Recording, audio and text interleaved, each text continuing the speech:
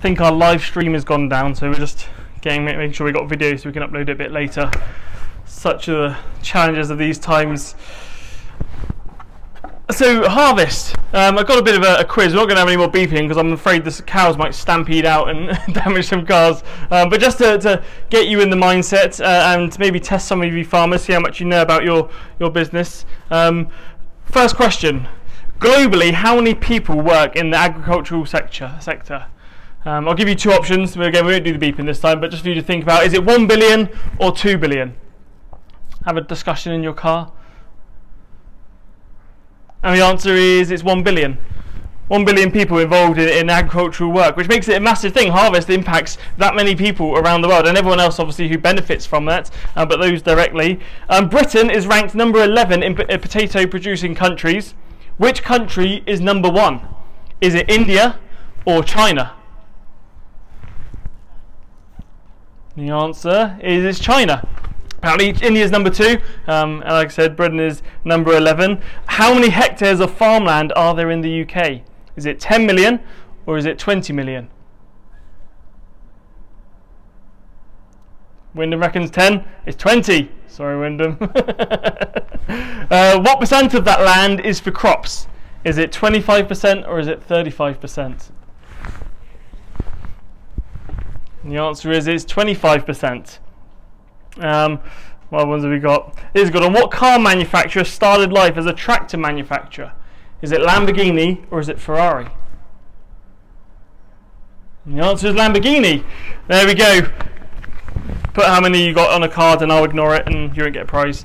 Um, but just to get into the mindset of harvest, harvest, this time where we, we remember the provision of God this time in, in the Bible where the people, it was one of their biggest festivals, bigger even than Christmas, uh, mainly because Christmas didn't exist in the Old Testament, but it, it, was their biggest time. It was the time when they would gather in and they would celebrate. We did it a few years ago, if you remember. We built that booth um, where, where people would live, and they still do today. Jewish people will live in these booths as a reminder of when they had nothing but a tent to live in, um, to remind of the provision of God.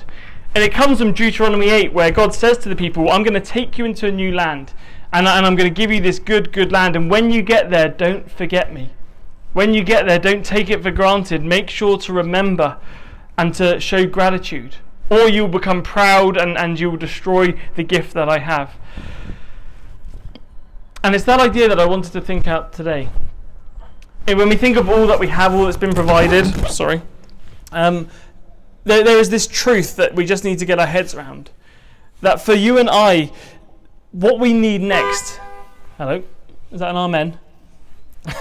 what we need next is not uh, the next level of accomplishment, not the next step on the career ladder, and not, not another relationship, not more accumulation, not more things. What we need really is an appreciation for what we have.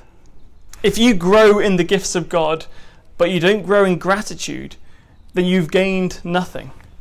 And if God gives to you, but you don't know how to respond to that in gratitude, then you aren't living life to the full.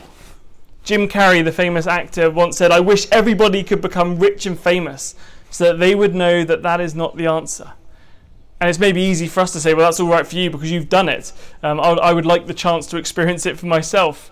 But we have to sort of bow down to his experience and say, maybe that is true that this accumulation, this unsettlement, this discontentment that we're sold constantly isn't the answer because what we need is to be grateful for what we have. Now, this isn't anything new. If you, you're in the world of self help or, or just online blogs or anything like that, you'll see that gratitude is big business nowadays. There are gratitude journals that each night you take and you write down the things that you're thankful for. There are gratitude seminars, lessons to teach you on how to be grateful. There are courses on it, there are advice on it. It's, it's big business on, on how we need to be more grateful because people have realized there is a link between our wellness, our wholeness, our flourishing, and gratitude. And so I want to just bring the Bible to bear on that and say, how do we really be grateful? How do we learn to respond in the right way to what we have? And I've got three steps as we're going to go to class one, then class two, and then we're going to graduate in gratitude today as we learn what it means for us today on this day, harvest, when we remember the provision of God, for us to respond in the right way. The first thing is to be thankful for. If you can all just say that, I am thankful for.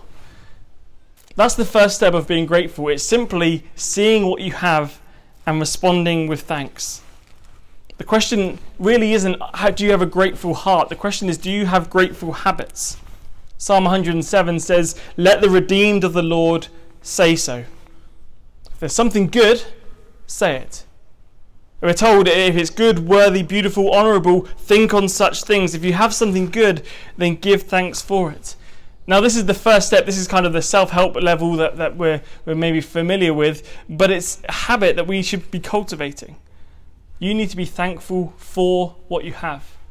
To do that, you need to take the time to see what you have and to put a habit in place that you give thanks for it. In particular, I'm, always reminded at times like this that we are thankful for many things provision and food and, and shelters and covers and warmth and things like that, but thankful for people also.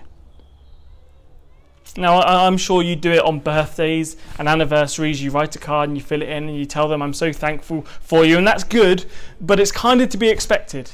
That's kind of the base level. That, that you're doing well with that, um, but but you need to do it at other times as well. Now, for goodness' sake, I don't want any letters um, from anyone saying my husband didn't write me a card because you told him not to do it. Then um, I don't I don't want that on my doorstep. But we need to be cultivating this and saying I'm thankful for, and simply speaking out what we're thankful for. To, to take the time to take stop, to pause and just look at what God has blessed you with and to respond with a simple thanks. C.S. Lewis said, If you only ever pray thank you in your entire life, then you've prayed enough. That there is something about it that's so basic and yet so rewarding, so refreshing, so renewing to us. And as you do it, what happens is you become more aware of what you have. If you're here today and you're thinking, well, I've got nothing to be thankful for, you need to make a choice to be grateful. You need to make a choice to say, I am thankful for, and list something, and the next time you go out, you'll be more aware. It heightens it.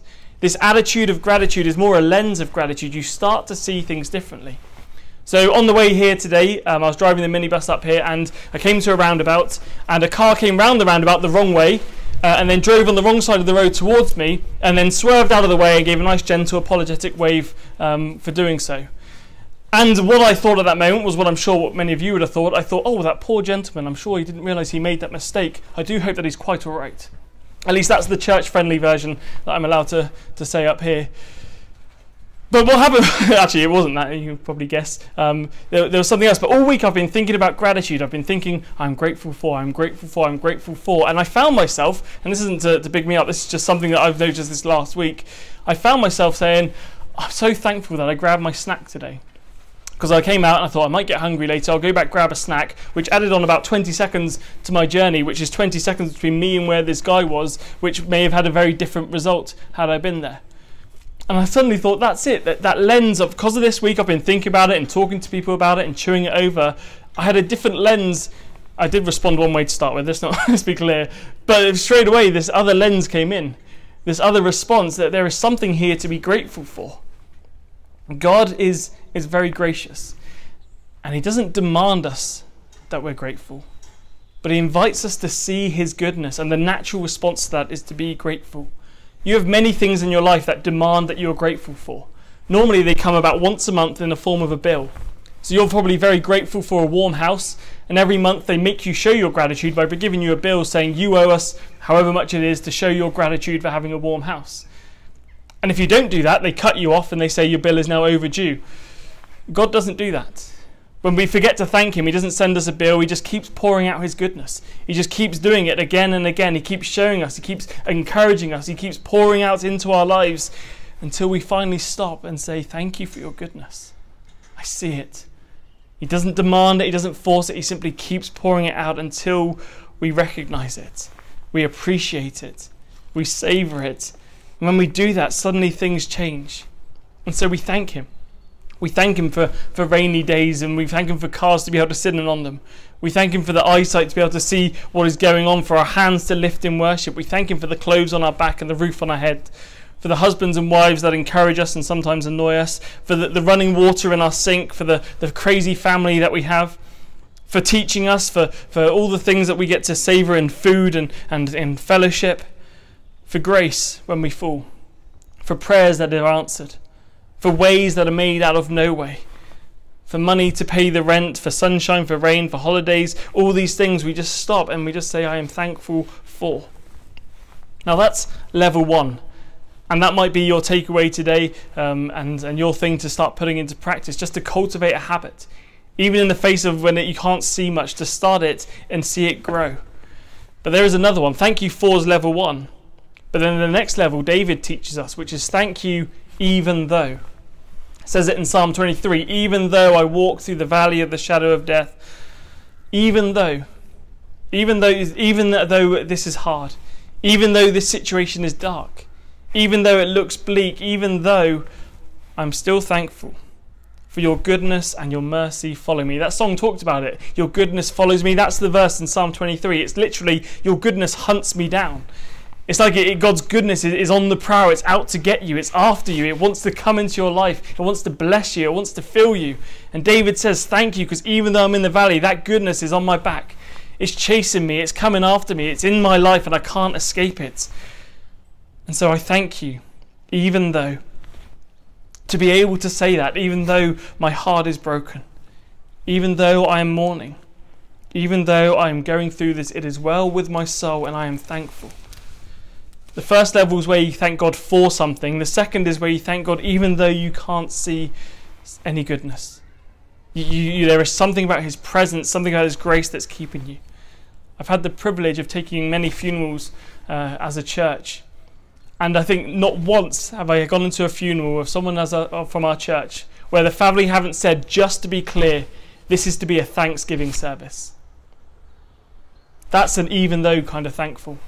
Even though we have lost this person, even though our heart breaks, even though we are giving thanks at this time. This is a time to celebrate the goodness of God in their life. This is a time to celebrate and give thanks for all that they meant to us. That's it, that evidence where it's bleak and it's dark and it's a valley, but still I am thankful even though. That's another level. That's not just thankful for, that's something else. And in the presence of my enemies, David says, in the presence of my insecurity, in the presence of my lack, in the presence of my addictions and my confusions or what I've lost, in the presence of that, even though my cup overflows, even though I'm not there where I want to be, I give you thanks. And people are able even to look into the face of death walking in that dark valley and say, We choose this moment to give thanks. It's powerful, it's real, and it speaks of this hope and this joy that we are able to give thanks for. That's part of this heart of praise that David teaches us. Thankful for, thankful even though. And then there's one more level which Paul shows us, which is I'm thankful because. It's not the same as thankful for. Something is thankful for cake because cake is a good thing. But thank you because is something bad has happened. But somehow, God, you have brought something good out of it. And it's kind of the graduation, it's the final level of, of giving thanks. To have a sense of God's purpose, to be aware of something that He's doing. And Paul talks about this when he has this thorn in this flesh, this thing that he prays again and again God, get rid of it, get rid of it, get rid of it. And it remains, but he learns to be thankful because of it. Again, we have people, and this is what's wonderful is these witnesses, these illustrations aren't stories, they are people's lives. We have people in this church who have been through cancer. We have people in this church who have been through illness and trial and separation and, and poverty. And when you talk to them today, and this sounds crazy, I know, but you talk to them and they say, I would have skipped the cancer for anything. I would have skipped the poverty for anything. I would have skipped the trial for anything. But I would never trade for all the world what I learnt and what God showed me because of it. That's another level of thankful. Not thankful for it, not thankful even though, although when they're going through it they may have been, but on the other end saying, I'm thankful because of it. Because of something that I should never be thankful for, because of something that I would never wish on anyone, but because of it, my God has shown himself to be bigger, my God has shown himself to be a provider. My God has held me. He has kept me. He has taught me. He has grown me. And I'm thankful because I would not be who I am. I would not have the witness that I have. I would not have the story and the relationship and the closeness with my Saviour that I have if it hadn't been for that. And so I'm thankful because of it. That's what Paul says. He says, All things, in all things, God works together for our good. Not all things are good and all things work for our good. That's not what he says, but in all things. I don't often eat raw flour or raw eggs or raw baking powder because it would be disgusting. But you mix them together, and in it, something good comes out of it. And that's a poor illustration, but that's it. That there are things that are going on that by themselves you would never give thanks for. And you'd never say, I'm blessed for this. But as you journey through it and you uh, God accompanies you through it, you come out saying, I'm thankful because of it. Some of you are confused by God because you've been through those dark times. And I don't know what picture of God was presented to you. Maybe it was a God who was doing it to you, God like an abuser who was, was harming you and then forcing you to praise Him. God didn't cause it, God didn't send it, but God is big enough that it will not stop Him. It will not stop Him finding a way to bless you through it. It will not hinder Him, it will not hold Him back, it will not reduce His love his goodness will still come through. Here's why this matters these levels, and you can see whatever level you're at, and there's another step for you to take, or maybe there's something for you to choose to give thanks for today that, that perhaps you haven't been doing. But this matters because gratitude is at the very heart of our faith. The sign, that the, the one thing that assures anyone that you get it, you get what God is about, and you get what He is doing, is that you, you are grateful. Because here's what John 3:16 says. And I don't really need to tell many of you, but let's just remind ourselves. For God so loved the world that he gave his one and only son that whoever believes in him wouldn't perish but would have eternal life. And that little word give is the key. It's a gift. And the only thing that shows that you truly have received a gift, that you truly understand a gift, is gratitude. Not I'm going to pay you back for it because that's then it's not a gift. Not I'm going to earn it because then it's not a gift. I receive it and I'm grateful. That shows that you understand what God is up to. He wants to give you a gift. Every blessing is a gift. We don't believe God is keeping track of attendance, even though we have to. We don't think that God needs our worship, although I'm sure He enjoys it. We don't think that He's going to smite us when we're naughty or, or any of these other silly characters. We believe that our God is a giver who gives us a gift of love expressed in sacrifice, an invitation. And the only thing he asks, he doesn't even ask of it, but the only thing that, that makes sense in light of that is to say, I'm so grateful.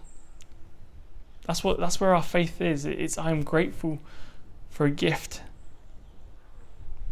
The faith that Jesus invites us to is to receive a gift.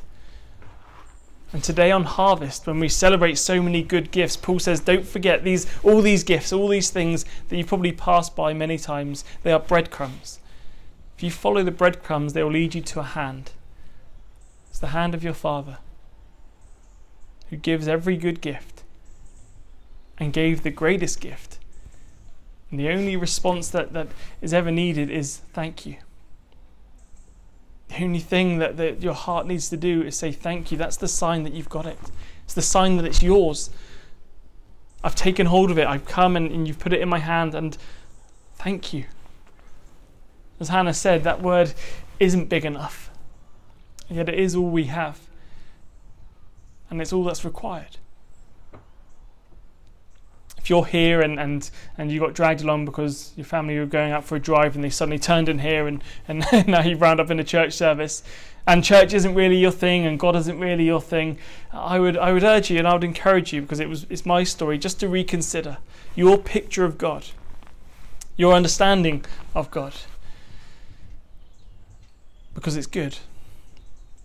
If it doesn't sound like good news, if it's never sounded like good news, then it may not be the God that we are trying to worship today.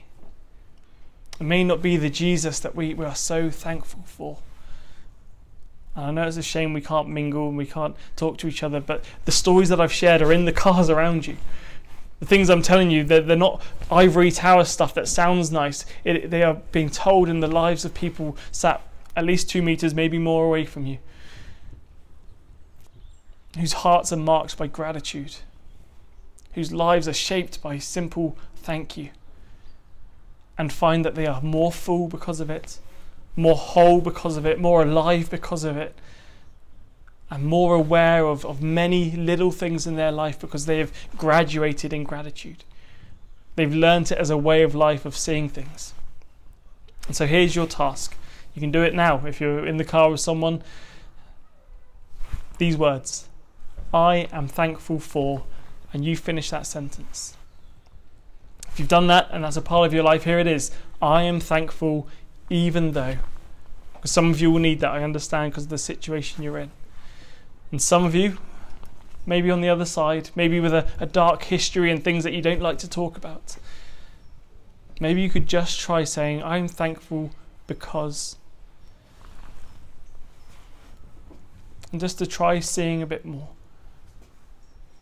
To increase your gratitude. Even if you're not a Christian, it's just, it, it'll make you happier. If you are a Christian, it makes sense because it's part of the fabric of the world that we think we're in. That behind it there is a God. Although it sometimes seems like it's always winter and never Christmas, there are things to be found to be grateful for. There are things to be seen that are good just in front of us if we'll open our eyes and see them. So I'm going to do that. I'm going to pray. Thank you. And then we're going to listen to some more worship songs, and then uh, because of the nature of things, we'll ask, we'll guide you out. We'll get our handy stewards back uh, and guide you away. But note them down. Text them now if you can. Talk to them with the people in your car as we respond in the only way that makes sense on harvest, the only way that makes sense in light of the abundance that we have. Thank you. Father, I thank you. Thank you for these people. Thank you for the story that they tell. Thank you for the witness that they are. Thank you for the things that I've noticed this week that I hadn't noticed before. Thank you for the small things that, that make a big difference. Thank you for the big things that are so unexpected. Thank you for the encouragement that I receive. Thank you for the people in my life.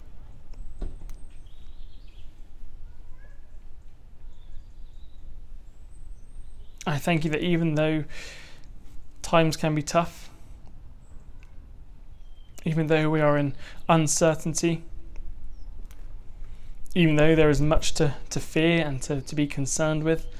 Thank you, though, even though it can sometimes seem cloudy.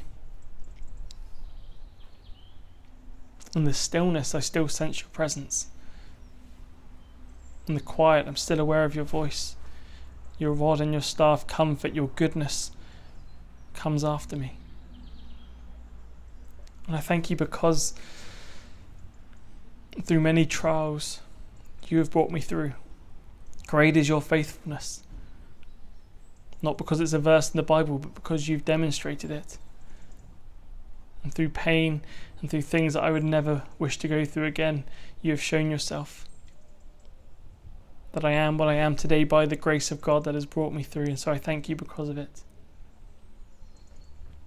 I pray today, Lord, our hearts would expand in gratitude. Our eyes would open in gratitude and we would see that it would be a new lens to see things. It would it would make us appreciate, it would make us savor again those things that we've overlooked. I pray that, that families would savor again one another as they look through the lens of gratitude. I pray we would enter our work and witness with a new vigour as we see it through the lens of gratitude. I pray we would see our life and opportunities with new hope and perspective through the lens of gratitude. I pray we'd see the opportunities that are right in front of us as we open our eyes to them. If we need to start small, Lord, show us these small things, but let it grow.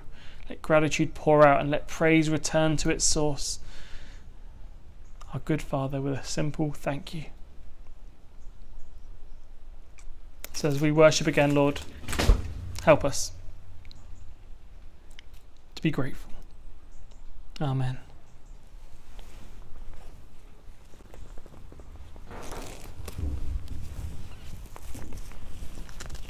Can you do communion? Yeah. Yeah. One song.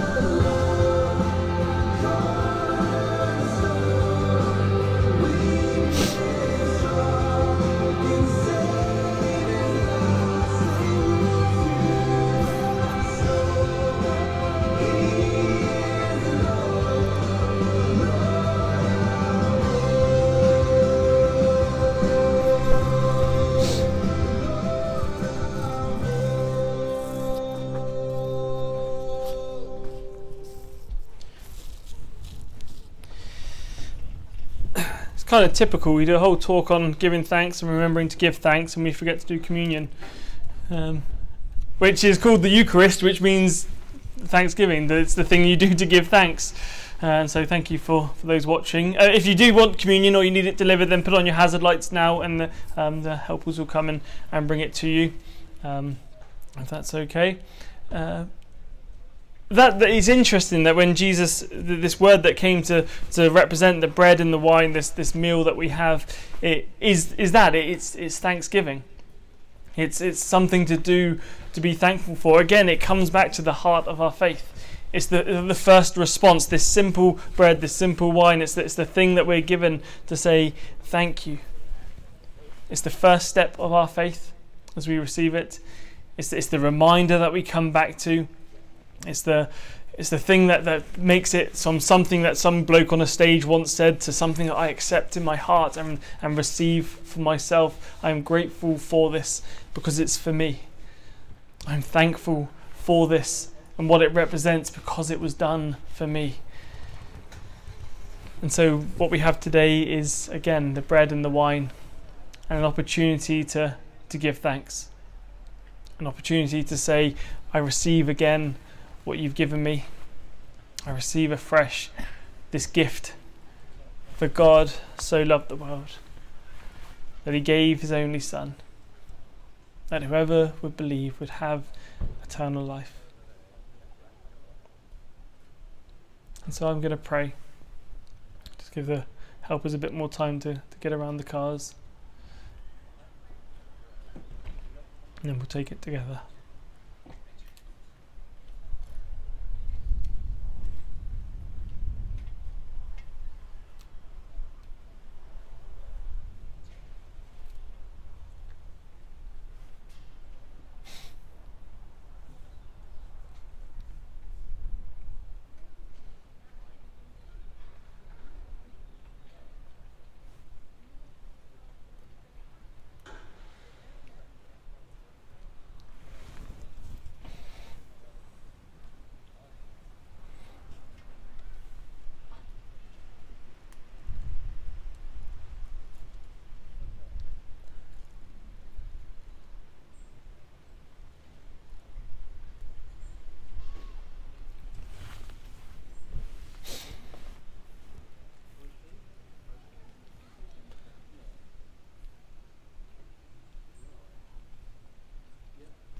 Think there's one more down here.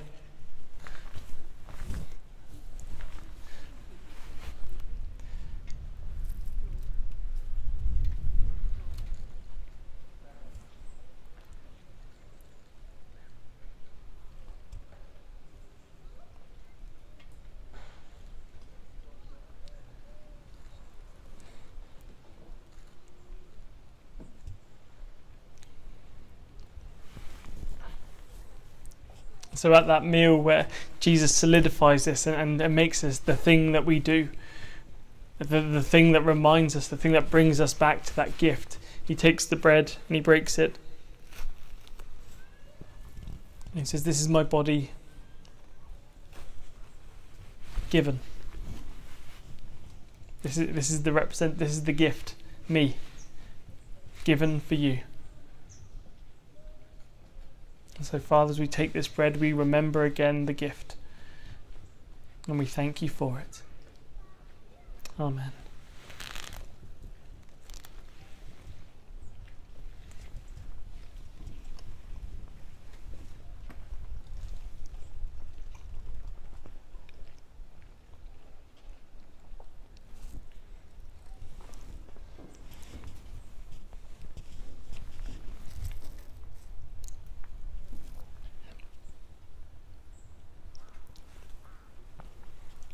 He then takes the cup and says, This cup is the new covenant, the new arrangement, and it's not going to be bought with your money, it's not going to be bought with your expertise or your even your holiness or your religious activities. It's going to be bought by my blood.